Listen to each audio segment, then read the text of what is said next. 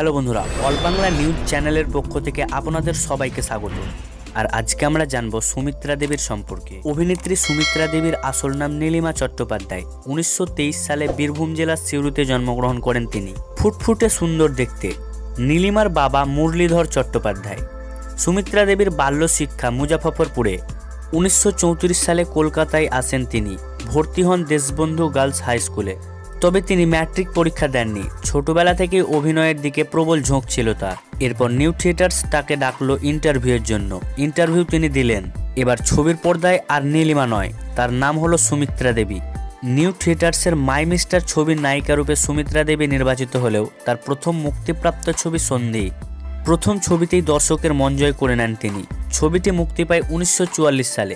সুমিত্রা দেবী সে বছর বিএফজেএ অর্থাৎ Bengal film journalist association পুরস্কার পান। অভিনয় জগতে আসার পর তার বিয়ে হয় অভিনেতা দেবী মুখোপাধ্যায়ের সঙ্গে।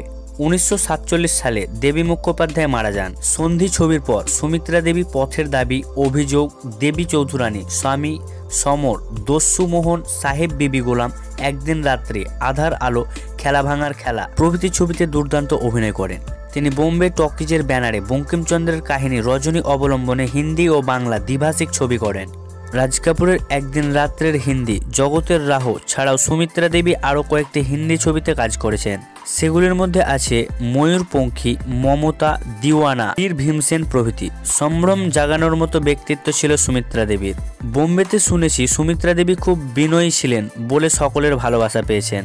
চলচ্চিত্রের মানুষজন তাকে শ্রদ্ধা করতেন। পঞ্চাশের দশকের শেষ দিকে চীনে অনুষ্ঠিত হয় এশিয়ান ফিল্ম ফেস্টিভ্যাল।